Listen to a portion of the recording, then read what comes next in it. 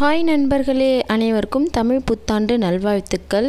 எனக்கு தெரிஞ்ச கோலம் எங்கள் வீட்டு வாசலில் நான் போட்டிருக்கேன். நல்லா இருக்கான்ட்டு கமெண்ட் பண்ணுங்கள் ஃப்ரெண்ட்ஸ் தமிழ் புத்தாண்டு அன்னைக்கு நீங்கள் சுவாமிக்கு என்னென்னலாம் செஞ்சு படையல் போட்டிங்கன்னு எனக்கு சொல்லுங்கள் நான் வந்து மினி இட்லி வெண்பொங்கல் மசால் வடை உளுந்த வடை கேசரி மாமாவுக்கு பிடிச்ச பாயாசம் பண்ணியிருக்கேன் நான்.